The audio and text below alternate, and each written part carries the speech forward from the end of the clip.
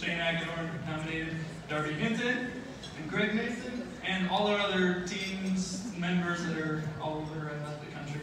We're just really proud of this. Uh, guys. We're really proud of this project. Um, just produced in, in Michigan.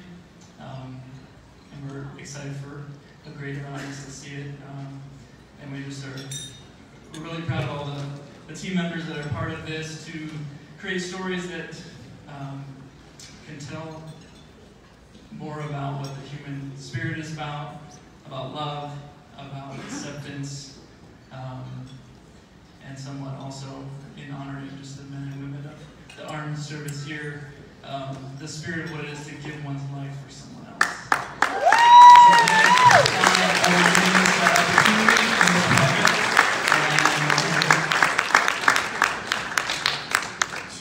I want to thank Jeff and the entire board here for allowing a film like this to make its appearance here in Burbank.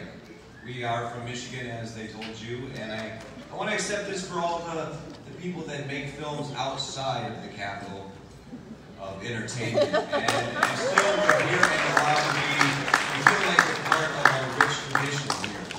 And so we're very proud to be here with this film. It does have a military theme to it as well, with the Civil War. And so I want to thank our, our servicemen for your service and allowing us all to do this, you know, with the freedoms that we have. And uh, the youth program, I think that is a beautiful thing that you have here because in other places, you know, communities struggle to try to develop the arts. So uh, I want to accept this on behalf of all those creative groups of people, hoping to find themselves here one day with all of you. So thank you so much.